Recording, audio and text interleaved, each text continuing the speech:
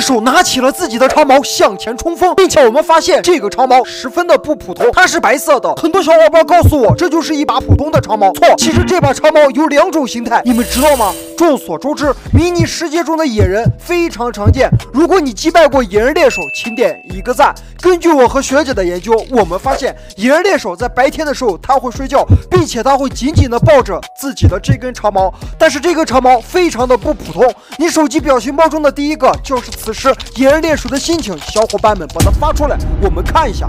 你们看，在夜晚的时候，野人猎手的眼睛它会变成绿色，但是在白天的时候，他的眼睛是没有任何颜色的。其实它的长毛就和它的眼睛一样，在夜晚也有专属于它的颜色，而这种颜色需要借助到一个小火把。小伙伴们，你们看，当野人猎手靠近这个火把以后，我们发现它的长毛从白色变成了火一样的红色，所以这就是这个长毛的第二种形态。所以野人猎手它其实并不普通，它的长毛也有两种形态，你们知道了吗？点个关注，下期继续。